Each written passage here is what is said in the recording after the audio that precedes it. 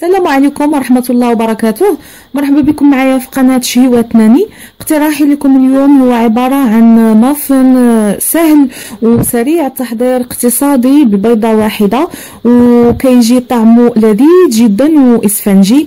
آه تحضيره سريع وما كيحتاجش لا خلاط ولا ضراب كهربائي. وعملت لكم بنسمة البرتقال وبحشوة مربى البرتقال. إن شاء الله غادي تجربوه وغادي يعجبكم.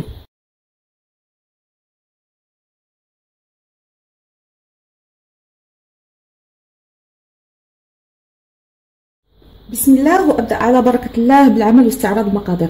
بالنسبة لهاد المادلين أو الكب كيك فهي تحضيرها سهل يعني ما كنحتاجوا لا خلاط كهربائي لا طراب لا حتى شي حاجة يعني غادي نخدموها غير بهذا الضرب اليدوي فقط.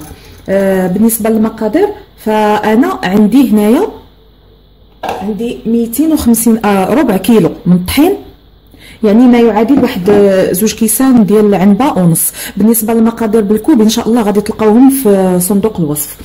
آه عندي هنا ربع كيلو ديال الطحين عندي هنايا 120 غرام ديال السكر بودرة. ماشي سكر حبيبات بودرة يعني كلاص آه ما يعادل واحد الكاس ديال العنبة زائد زوج معالق كبار.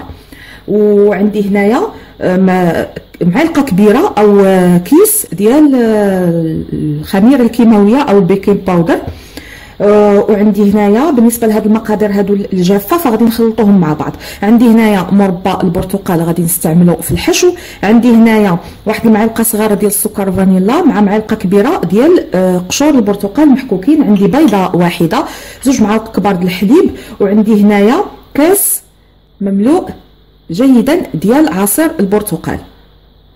وعندي هنايا ثلاثة الأرباع ديال الكاس أقل من ثلاثة أرباع آه، ديال الكاس ديال آه، الزيت. وعندي واحدة رشيشة ديال الملح. غادي ناخذ كما قلت المقادير الجافة غادي نخلطها مع بعضها. عندي هنايا سكر كلاصي مغربل الدقيق أيضا مغربل. غادي نخلطهم. وعندي هنايا خميرة الكيماوية أو ال baking powder نغربلهم أيضا. ها هما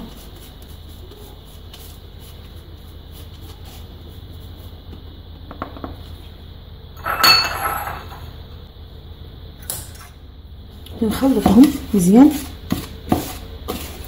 في حال لو استعملتوا السكر حبيبات يعني سنيدة ما تخلطوهاش هنايا. خلطوها مع العناصر السائلة باش تذوب.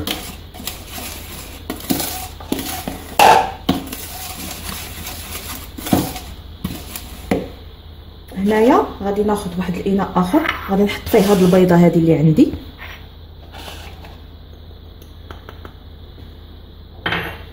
نضيف عليها سكر فانيلا و بشر البرتقال.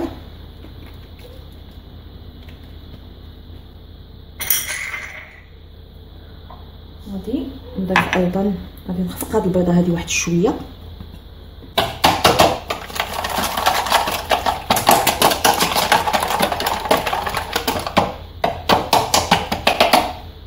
نبدأ في عصير البرتقال.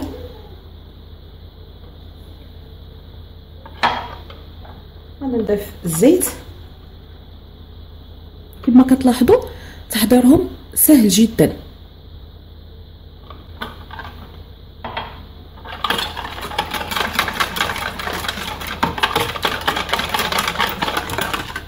وهاد زوج معالق كبار ديال الحليب.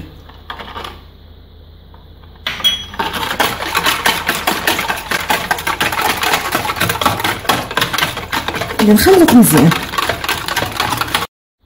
هنايا غادي نضيف واحد القبيصة ديال الملح.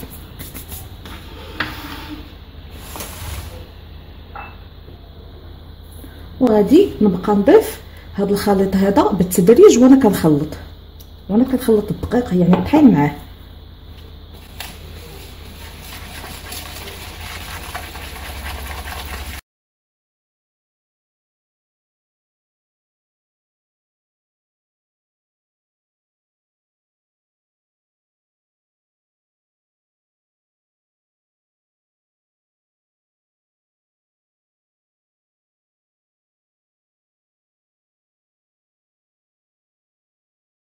أنا خلطت هانتوما ولكن حسيتو واحد شوية خصو يخفف شوية يعني ماشي بزاف.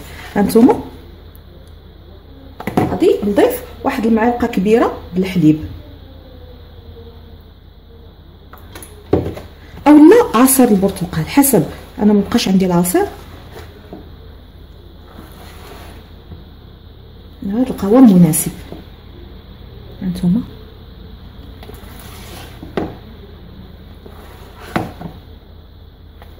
دابا غادي نحضروا القوالب فاش غادي نفرغوها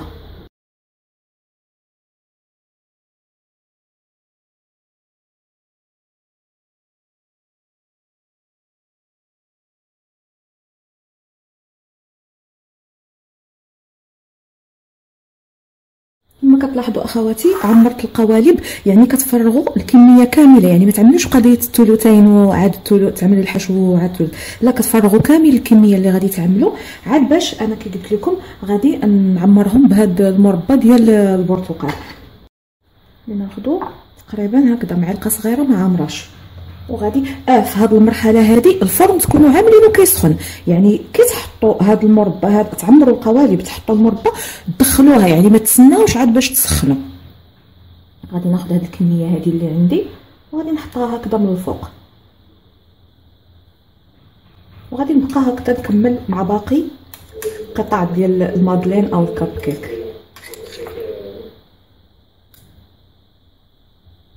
بطبيعة الحال ما نحتاجش نذكر أن الا بغيتو تبدلوا النوعية ديال المربى بدلوها. يعني بتعملوا المشماش تعملوا أي حاجة عندكم. غير كان يعني تبدلوا النسمة. مثلا إلا غادي تعملوا الفخيز آه غادي تعملوا تنسموا غير بالفاني وبدل عصير البرتقال تعملوا الحليب. كما كتلاحظوا أخواتي كملت توزيع آه، حصص المربى فوق هاد آه، الكاب كيك آه، الفرن كما أشرت مسخن من قبل. دابا غادي ندخل هاد الصينية هذه طيب على حرارة ما بين 170 حتى 180 درجة. هادشي في فرن الغاز. بالنسبة للفرن الكهربائي كنظن 180 لأن قلت لكم 170 ما بين 170 180 في فرن الغاز لأن فرن الغاز سخون بزاف. فأفضل يطيب على حرارة شوية هادية.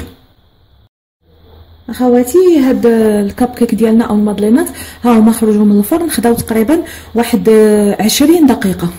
آه، بالنسبة للتقديم أنا خليتهم هنايا بردوا فضفت واحد شوية واحد الكمية حيت اللي غادي تلاحظوا أنهم ملي كيطيبوا بحال إلا كيتحفروا من بلاصة المربى كتهبط. فضفت لهم واحد الكمية إضافية وبالنسبة للتقديم فغادي نعتمد فقط على القليل من السكر آه، بودرة.